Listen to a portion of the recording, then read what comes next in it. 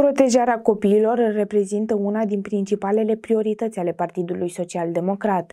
Adoptarea legii pachetului minim de servicii pentru copii este o realizare importantă, mai ales în contextul pandemiei COVID-19, care a accentuat vulnerabilitățile, iar guvernul PNL a blocat sistematic orice demers favorabil copiilor. Guvernul PNL a blocat sistematic orice demers favorabil copiilor, a refuzat dublarea alocațiilor, nu a dat tablete necesare cursurilor online și nu a pregătit școlile. Încă o dată PSD a arătat că are soluții, că face o prioritate din sprijinirea copiilor și a familiilor, din investițiile în sănătate, protecția și educația lor.